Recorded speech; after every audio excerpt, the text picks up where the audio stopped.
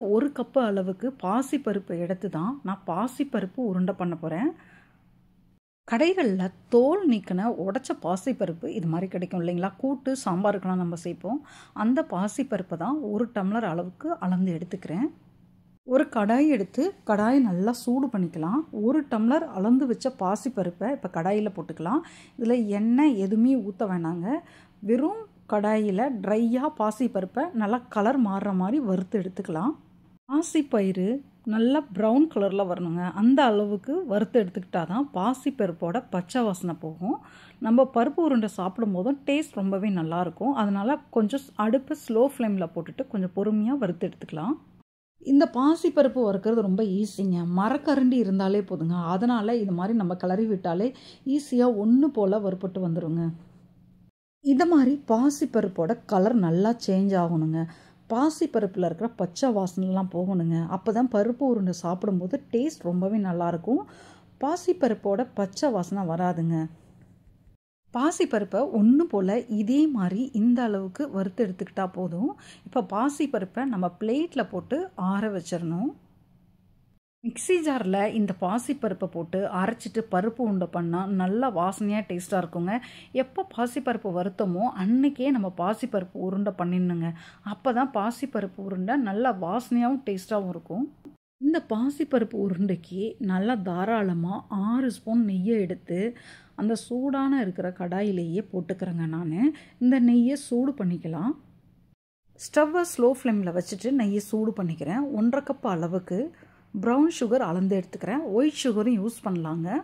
ஒரு கப் பாசிப்பயிருக்கு ஒன்றரை கப் அளவுக்கு சுகர் போட்டுக்கிட்டால் போதுங்க. நிறைய சுகர் போட்டால் டேஸ்ட் நல்லா இருக்காது. ஒன்றரை கப் அளவுக்கு இப்போ நம்ம ப்ரௌன் சுகர் அளந்து எடுத்துகிட்டு மிக்ஸி ஜாரில் சேர்த்துடலாம் இந்த ப்ரௌன் சுகரை ஒயிட் சுகர் போட்டுக்கிட்டாலோ இல்லை நாட்டு சக்கரை போட்டாலும் சேம் அளவு தாங்க இந்த அளவு தான் எடுத்துக்கணும். இப்போது ஒன்றரை டம்ளர் அளவுக்கு இப்போ சுகரை மிக்ஸி ஜாரில் சேர்த்துருக்கோம். ஒரு ஏலக்காவும் சேர்த்துருக்கோம். இப்போ பொடி பண்ணி நல்லா நைஸாக மிக்ஸி ஜாரில் ஓட விட்டு இந்த சுகரை எடுத்து ஒரு பிளேட்டில் போட்டு வச்சிடலாம்.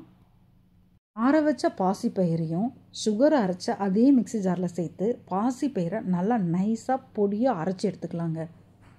மிக்ஸி ஜாரில் சேர்த்து இந்த பாசிப்பயிரை அரைச்சாலுமே ஒன்று ரெண்டு ரவா அளவுக்கு பாசிப்பயிறு குருணை இருக்க தாங்க செய்யும். அது சாப்பிடும்போது டேஸ்ட்டாக இருக்கும். அதை சலிக்கலாம் தேவையில்லைங்க. பெரிய அளவுக்கு பாசிப்பயிறு நம்ம மாவில் இருந்தால் திருப்பி ஒரு தடவை போட்டு அரைச்சி எடுத்துக்கலாம் பாசிப்பருப்பு மாவை. பாசிப்பருப்பை அரைச்சி எடுத்து பிளேட்டில் போட்டுட்டேங்க. ஆல்ரெடி அரைச்சி வச்சுருக்கிற சுகர் பொடியையும் இப்போது பருப்பு பொடியோடு போட்டு மிக்ஸ் பண்ணிக்கலாம். சர்க்கரை கொஞ்சம் கம்மியாக தான் சாப்பிடணும்னு நினைக்கிறவங்க ஒரு டம்ளர் பாசிப்பருப்புக்கு ஒரு டம்ளர் சர்க்கரை எடுத்துக்கோங்க. அரைச்சி எடுத்த ப்ரௌன் சுகரையும் பாசிப்பருப்பு பொடியையும் இது மாதிரி நல்லா மிக்ஸ் பண்ணிக்கலாங்க. ஒரே ஒரு ஏலக்காய் சேர்த்தாலாம் நல்லா வாசனையாக தான் இருக்கும் மிக்ஸ் பண்ணும்போது. நம்ம கைகளாலே மிக்ஸ் பண்ணிக்கலாங்க. கரண்டியால் மிக்ஸ் பண்ணுறதோட கரண்டியால் மிக்ஸ் பண்ணோம்னா சுகர் ஒரு புறமும் பாசிப்பருப்பு மாவு ஒரு புறமும் மிக்ஸ் ஆகுங்க. நம்ம கைகளெல்லாம் ஒன்று போல் இது மாதிரி கிளறி விட்டால் பருப்பு உருண்டை எல்லாம் சேர்ந்து வந்து டேஸ்ட் நல்லாயிருக்கும் மாவு இப்போ கரெக்டாக மிக்ஸ் பண்ணி வச்சுட்டேங்க. நெய்யை நல்லா சூடு பண்ணிக்கிறேன் கடாயில். நெய் நல்லா கொதிக்க கொதிக்க இருந்ததுன்னா இந்த பருப்பு உருண்டை டேஸ்ட்டாக இருக்குங்க. இப்போ நல்லா கொதிக்க கொதிக்க இருக்கிற நெய்யை இப்போது மிக்ஸ் பண்ணி வச்சுருக்கிற மாவில் போட்டுடலாங்க இது மாதிரி கரண்டியால்.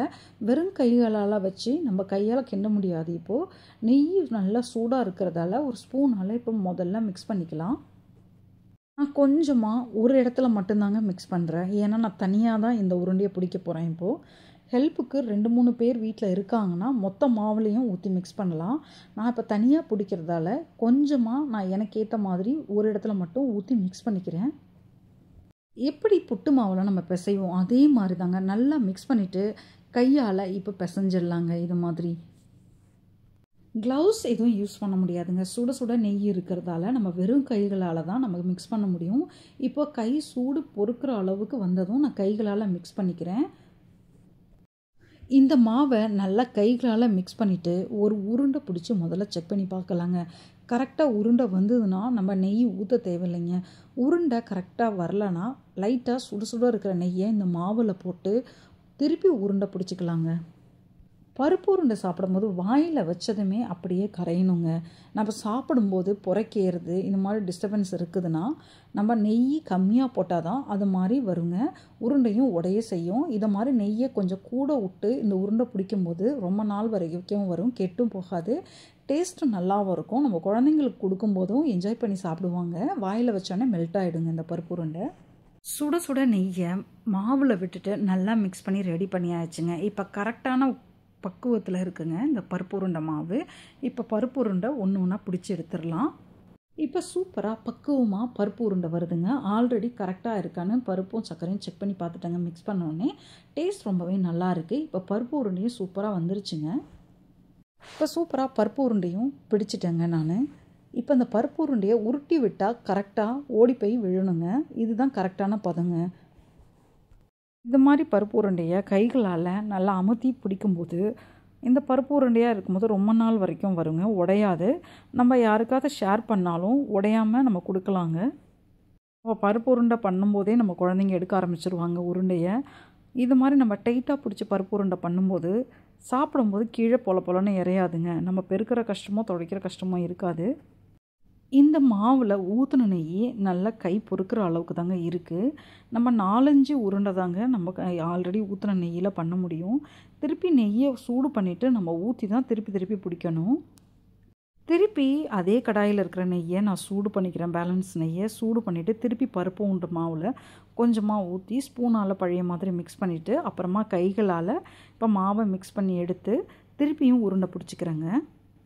நான் வீட்டில் இருக்கும்போது எங்கள் அம்மா இது மாதிரி மிக்ஸ் பண்ணி கொடுத்து பிடிக்க சொன்னாங்கன்னா பிடிக்க மாட்டேங்க. கை சுடுதுன்னு சொல்லிட்டு ஓடி போயிடுவேன் ஆனால் இப்போது எங்கள் வீட்டில் நான் பண்ணி தான் ஆகணுன்ற சூழ்நிலை வரும்போது இப்போ கரெக்டாக பண்ண கற்றுக்கிட்டேன் இப்போ நம்ம தானாக ஸ்வீட் செய்யும்போது தான் தெரியுது. இப்போ கரெக்டாக தான் பதமாக தான் இருக்குது கையை வைக்கலாம் அப்படின்னு சொல்லிட்டு.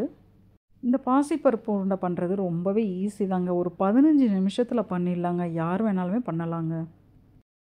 என்னோடய பாட்டியெல்லாம் அந்த பாசிப்பருப்பு உருண்டை பண்ணதும் கொஞ்சம் தூக்கி போட்டு பார்ப்பாங்கங்க. இது மாதிரி தூக்கி போட்டு பார்த்தாங்கன்னா பாசிப்பருப்பு உருண்டை உடையலைன்னா கரெக்டான பதத்தில் இருக்குது அப்படின்னு சொல்லுவாங்க. ரெடி பண்ண எல்லா மாவுமே பாசிப்பருப்பு உருண்டையாக பிடிச்சி எடுத்துட்டேங்க நான். எனக்கு ஒரு பதினேழு பாசிப்பருப்பு உருண்டை கிடச்சிருக்குங்க. ரொம்பவே சூப்பராக இந்த பாசிப்பருப்பு உருண்டைக்கு ஒரு டம்ளர் பாசிப்பருப்பு ஒன்றரை டம்ளர் சர்க்கரை ஆறு ஸ்பூன் நெய் ஒரு ஏலக்காய் இருந்தாலே போதுங்க சூப்பராக ரெடி பண்ணிடலாம். இந்த பாசிப்பருப்பு உருண்டையை தினமும் நம்ம குழந்தைங்களுக்கு ஒரு ஒரு உருண்டை கொடுக்கலாங்க. நெய் பாசிப்பருப்பு ப்ரௌன் சுகர் சேர்த்தா உடம்புக்கும் நல்லது தாங்க குழந்தைங்களுக்கு கொடுக்கலாங்க ஹெல்த்தியும் கூட. வாயில் வச்சதுமே இந்த பாசிப்பருப்பு உருண்டை கரைஞ்சிருங்க. ஒன்று ரெண்டு ரவா மாதிரி பாசிப்பருப்பு குருணை இருந்தாலுமே சாப்பிட்றதுக்கு டேஸ்ட்டாக தாங்க இருக்கும். பாசிப்பருப்பு உருண்டையெல்லாம் பாக்ஸில் வைக்கிறேன் பாருங்கள் ஒன்று கூட உடையலைங்க. நம்ம எப்படி பாசிப்பருப்பு உருண்டை பிடிச்சோமோ அதே மாதிரி தாங்க இருக்குது இதே மாதிரி உங்கள் வீட்லேயும் பாசிப்பருப்பு உருண்டையை இன்றைக்கே ட்ரை பண்ணி பாருங்கள் சாப்பிட்றதுக்கு டேஸ்ட் ரொம்பவே நல்லா இருக்குங்க.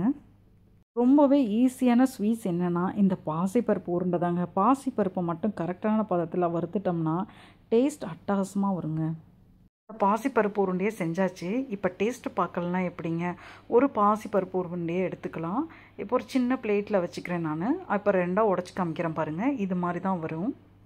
ரொம்பவே சாஃப்டாக ரொம்பவே நல்லா வந்திருக்குங்க இந்த பாசிப்பருப்பு உருண்டை. உங்கள் வீட்லேயும் இதே மாதிரி ட்ரை பண்ணி பாருங்கள் ரொம்பவே நல்லா இருக்குங்க சாப்பிட்றதுக்கு.